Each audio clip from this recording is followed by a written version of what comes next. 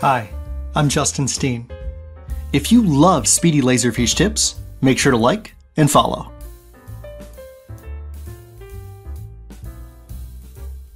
Today, I have another great tip for you that relates to Laserfiche forms. Now, if you're anything like me, it's not uncommon to have many different tabs open in an internet browser.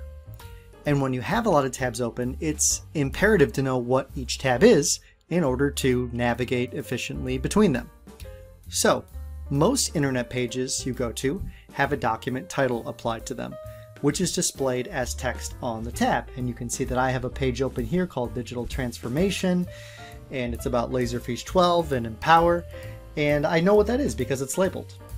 But then you see I've got some other tabs here that just say New Submission.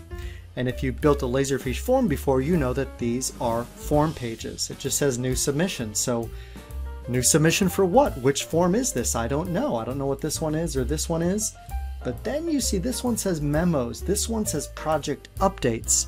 So you might be wondering, okay, that's great. How did you do that? Really simple. This is just a simple bit of jQuery that you can add.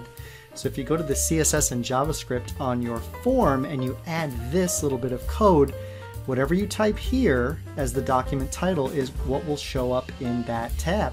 And it's really as simple as that. I hope you enjoyed this tip and we'll talk to you next time.